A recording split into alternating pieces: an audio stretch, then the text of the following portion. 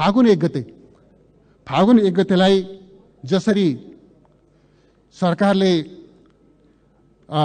दिवस मनाउने घोषणा म आग्रह गर्न चाहन्छु यो निर्णय कुनै पनि दृष्टिकोणले चाहे हिजोको द्वन्द्वको दृष्टिकोणले हेर्नुहोस् चाहे विस्तृत शांति शान्ति सम्झौताको दृष्टिकोणले हेर्नुहोस् या कुनै पनि दृष्टिकोणले चाहे अ, प्रतिबिम्बित भएको जनमतको दृष्टिकोणले हेर्नुहोस् चाहे आम नेपाली जनताको चाहनाको दृष्टिकोणले कुनै पनि दृष्टिकोणले फागुन एक गते उत्सवको दिन हुन सक्दैन।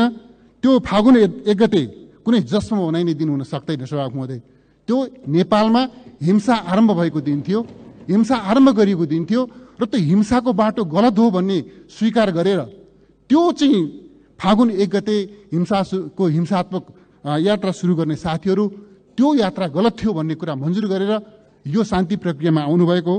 र यो चाहिँ यो संविधान निर्माणको प्रक्रियामा सहभागी हुनुभएको र आज त्यो त्यो स्वीकारोक्तिका साथमा यो सम्मानित सदनमा उहाँहरूको उपस्थिति छ भन्ने म मान्दछु त्यस अर्थमा यो फागुन एक गतेलाई जसमा मनाएर फागुन एक गते जसमा मनाएर दिवस मनाएर देशमा कुनै लोकतन्त्रको सबलीकरण हुन सक्दैन नेपालको लोकतान्त्रिक छवि अन्तर्राष्ट्रिय जगतमा स्थापित हुन सक्दैन भन्ने मलाई लाग्दछ सभा महोदय।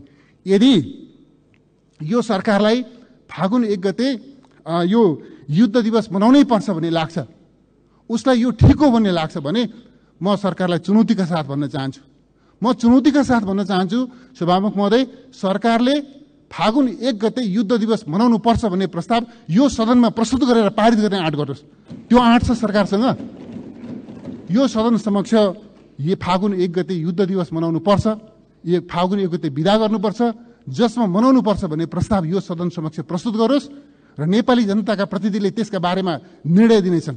नेपाली जनताका प्रतिनिधिहरूका सामनेमा यो सदनका सामनेमा फागुन एक गतेको युद्ध दिवसका सन्दर्भमा त्यसको परीक्षण गर्न सरकार तयार छ।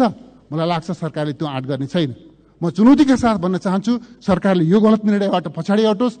यदि पछाडि हट्न चाहँदैन भनेदेखि सिधै पछाडि हट्न चाहँदैन भनेदेखि सदन समक्ष प्रस्ताव लिएर आओस् र सदनको निर्णय मानेर अगाडि बढोस्।